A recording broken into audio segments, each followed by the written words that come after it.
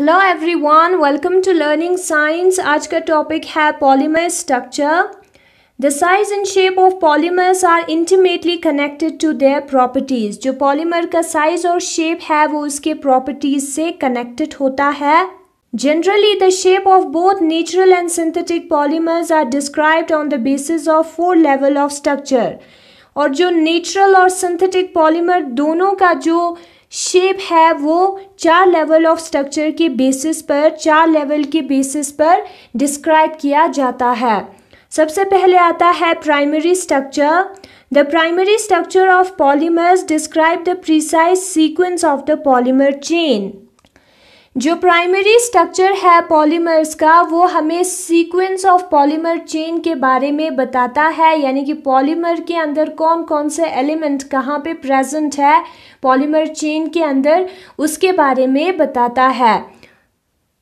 For example primary protein a polymer of amino acid structure is a sequence of amino acids protein जो है वो एक polymer है amino acids का। तो जो प्राइमरी प्रोटीन स्ट्रक्चर है, वो हमें उसके अंदर किस टाइप का अमाइनो एसिड प्रेजेंट है, वो बताता है।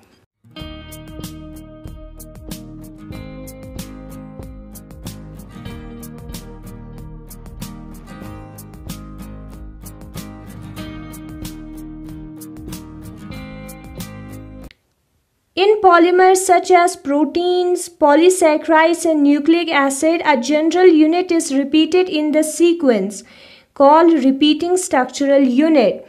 Polymers जैसे कि proteins, polysaccharides, nucleic acids उसके अंदर क्या होता है एक जनरल यूनिट होता है एक ऐसा यूनिट होता है पार्ट होता है जो अपने आप को सीक्वेंस में रिपीट करता है सीक्वेंस में वो बार बार आता है और उस यूनिट को कहा जाता है repeating structural unit the repeating structural unit of some polymers are given below और जो रिपीटिंग स्ट्रक्चरल यूनिट है कुछ पॉलीमर्स का वो नीचे दिया है।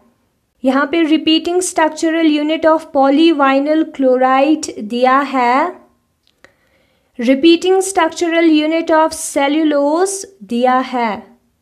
फिर उसके बाद आता है secondary structure the secondary structure describes the molecular shape और कन्फर्मेशन ऑफ़ पॉलीमर चेन जो सेकेंडरी स्ट्रक्चर है वो मोलिकुलर शेप या कन्फर्मेशन बताता है पॉलीमर चेन का शेप कैसा है वो बताता है। The secondary protein structure occurs when the sequence of amino acids are linked by hydrogen bonds और जो सेकेंडरी प्रोटीन स्ट्रक्चर है, वो तब बनता है जब sequence of amino acid hydrogen bond से जुड़ जाता है। For linear polymer the shape approaches a helical और sheet arrangement depending on the nature of polymer और लीनियर पॉलीमर के केस में जो शेप है, वो हेलिकल होता है या शीट के फॉर्म में होता है पॉलीमर के नेचर पर डिपेंड करता है। The helical arrangement and sheet arrangement are given below और जो हेलिकल अरेंजमेंट और शीट अरेंजमेंट है, वो नीचे दिया है। यहाँ पे helical conformation of secondary structure दिया है, जो कि एक कर्ली बाल की तरह है। और यहाँ पे जो बीटा शीट जो शीट अरेंजमेंट है, वो दिया है। फिर उसके बाद आता है tertiary structure tertiary structure three dimensional folding acquires due to side chain interactions tertiary structure में थ्री डायमेंशनल फोल्डिंग होता है, यानी कि थ्री डी में, हवा में फोल्डिंग होती है सेकेंडरी स्ट्रक्चर्स का साइड चेन इंटरैक्शन के वजह से। The tertiary protein structure acquires when certain attractions are present between alpha helices and pleated sheets और जो टर्शरी प्रोटीन स्ट्रक्चर है, वो तब बनता है जब अल्फ़ा हेलिसिस और प्लीटा शीट के बीच में कुछ अट्रैक्शंस हो। यहाँ पे टर्शरी स्ट्रक्चर दिया है। टर्शरी स्ट्रक्चर में थ्री डायमेंशनल फोल्डिंग होती है। हेलिक्स और प्लेटेड शीट हेलिक्स यहाँ पे पिंक कलर में दिया है और जो प्लेटेड शीट है, वो ग्रीन कलर में है। फिर उसके बाद आता है quaternary structure it describes the overall folding of tertiary structure जो कॉटनरी स्ट्रक्चर है, वो टर्शरी स्ट्रक्चर्स के फोल्डिंग के बारे में बताता है।